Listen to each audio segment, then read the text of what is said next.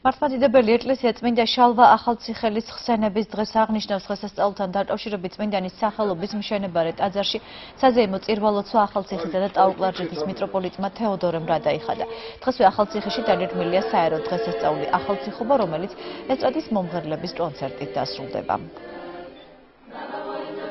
ეს იყო განსაკუთრებული ადამიანი, ადამიანი, რომელიც იყო ერის მოღვაწე, საერო მოღვაწე და ამავე დროს თავდადებული თავისი სარწმუნოებისათვის, თავისი ქვეყნისათვის.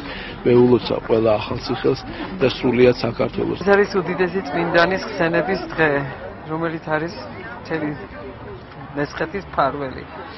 ულოცავ სრულიად საქართველოს და განსაკუთრებით ახალციხეს.